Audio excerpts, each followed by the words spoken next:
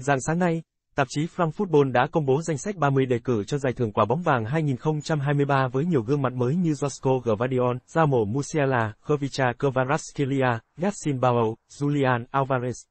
Song song với đó, nhiều ngôi sao lớn đã bị gạch tên. Đáng chú ý nhất là trường hợp của Cristiano Ronaldo. Cho dù vẫn ghi bàn đều đặn ở giải vô địch quốc gia Saudi Arabia, nhưng tiền đạo 38 tuổi người Bồ Đào Nha không đủ thuyết phục ban kỹ thuật của Frank Football lựa chọn. Đây là lần đầu tiên sau 20 năm, Ronaldo không được tranh giải quả bóng vàng.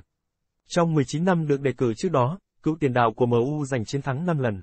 Anh đang là người giành quả bóng vàng nhiều thứ hai lịch sử, chỉ sau Lionel Messi. Trái ngược với Ronaldo, Messi không chỉ góp mặt mà còn là ứng cử viên nặng ký giành giải cho dù đã chuyển sang Mỹ thi đấu. Messi được đánh giá cao nhờ giúp tiền Argentina vô địch World Cup sau 36 năm chờ đợi. Sau khi giành cúp vàng thế giới, Messi kết thúc mùa giải năm 2022 năm 2023 không tốt với PSG. Tuy nhiên, tiền đạo 36 tuổi này vẫn ấm một loạt danh hiệu cá nhân, bao gồm The Best 2022.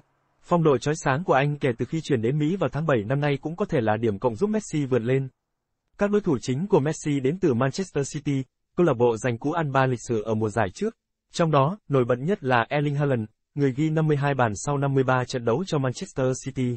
Haaland đã thâu tóm tất cả giải thưởng cá nhân cao quý ở Anh và mới vượt mặt Messi giành giải cầu thủ xuất sắc nhất châu Âu của UEFA.